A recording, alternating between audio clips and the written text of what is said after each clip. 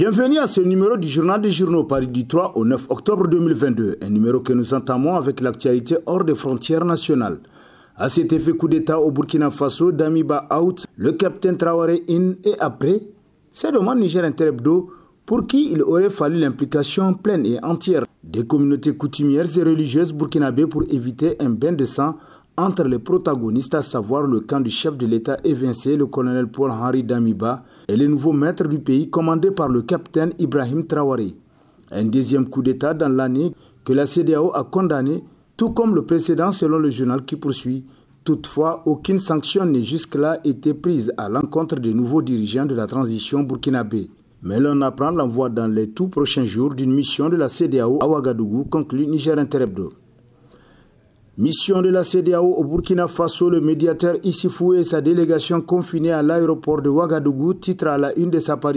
en date du 5 octobre le quotidien privé Le Matinal qui nous apprend qu'alors qu'il effectuait le déplacement de Ouagadougou pour obtenir les nouveaux maîtres du Burkina Faso, le respect de quelques engagements pris entre lui et Damiba par rapport à la gestion de la transition et la lutte contre le terrorisme, l'ancien président du Niger, Mohamedou Issifou, a été très mal accueilli lors de son arrivée le mardi 4 octobre au pays des hommes intègres. Dès la veille à l'annonce de ce déplacement, la jeunesse du Burkina, très active depuis le coup d'État, n'a pas fait mystère de son hostilité vis-à-vis de toute initiative venant de la tristement célèbre CDAO à l'endroit du peuple du Burkina Faso, selon le matinal. Gouvernance, comment sortir de la kleptocratie et la médiocratie instaurée par Ishifou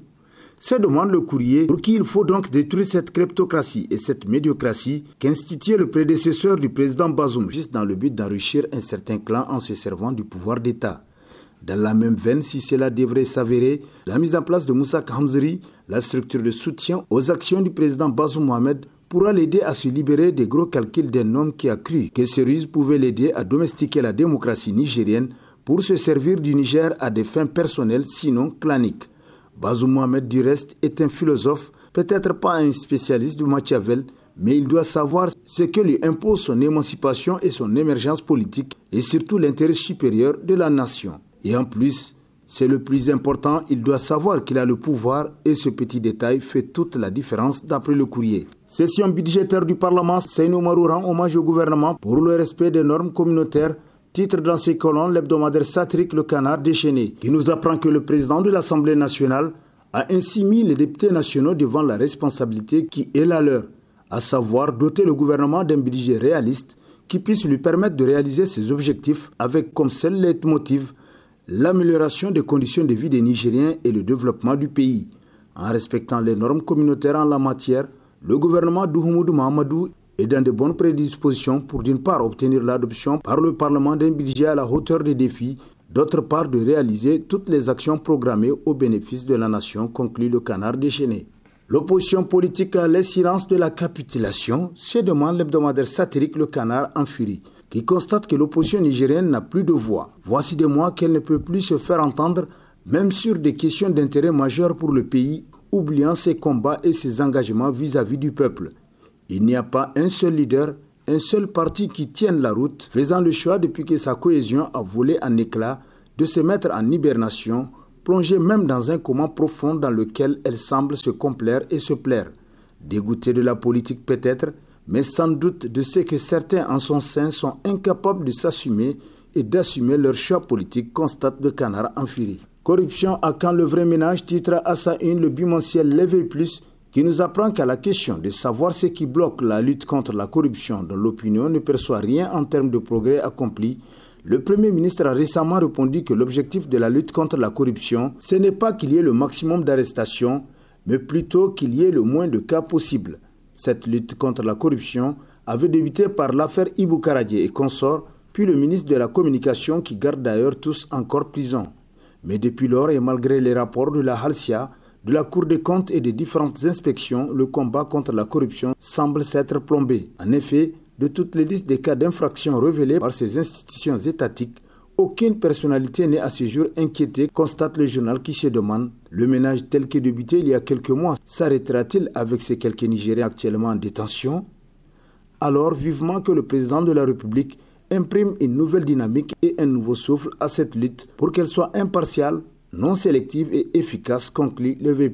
Les autorités en charge de la question appellent au respect strict du prix officiel du gaz. Les consommateurs ont hâte de l'application de cette mesure, titre dans ses colonnes l'hebdomadaire Le Nouveau Républicain qui nous apprend que la semaine dernière, c'est avec stupéfaction qu'il a appris le communiqué conjoint du ministère du Pétrole, du Commerce et des Finances relatif à la situation du prix officiel du gaz sur le marché. Ce communiqué fait en réalité suite au non-respect du prix du produit, notamment par les revendeurs. Afin donc de garantir la protection des consommateurs du gaz, il est écrit noir sur blanc qu'afin d'assurer la disponibilité du GPL et contenir la spéculation et la fraude, et suite aux différentes rencontres tenues avec les principaux acteurs de la filière,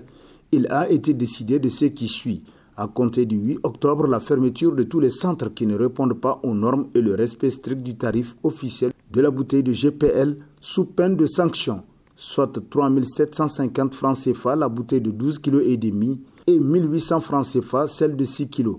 Voici là la nouvelle qui a plus ému le journal, car selon le nouveau républicain, la chanson a duré, mais n'a malheureusement pas comme effet de pouvoir amener les revendeurs du gaz à se conformer au prix en vigueur. Chefferie traditionnelle, qu'est-ce qui se passe au sultanat de Dosso?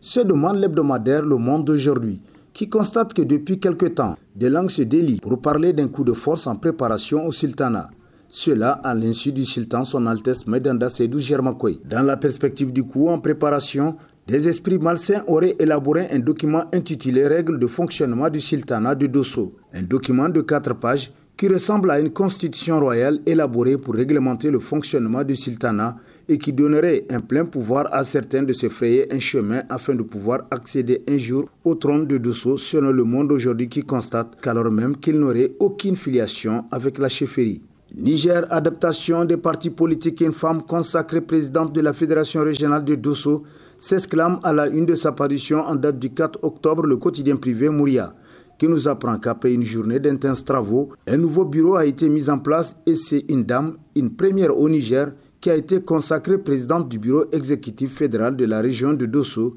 Madame Husseini Adizatou Yakuba, pour ne pas la nommer. Elle n'a pas usurpé ce poste, elle n'a ni triché ni trafiqué. Elle n'a pas forcé non plus, constate le quotidien qui poursuit. Jamais une femme n'a atteint un tel niveau d'ascension dans un parti politique sérieux. Certes, des femmes sont cooptées et promues ministres dans les différents gouvernements précédents du Niger, mais elles n'ont jamais démontré un tel parcours politique justifié par un engagement réel, selon Mouria. Sorti de la première promotion de six neurochirurgiens de la faculté des sciences de la santé de l'université Abdou Moumouni,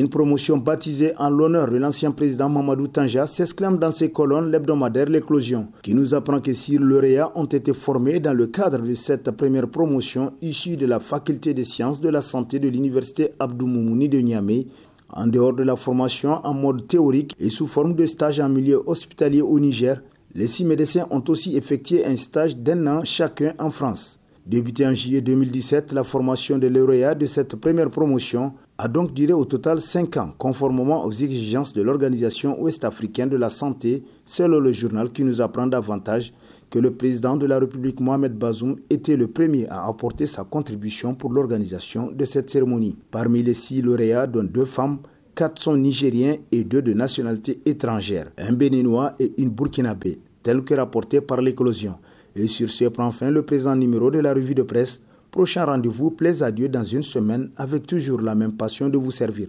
Bonne lecture et au revoir.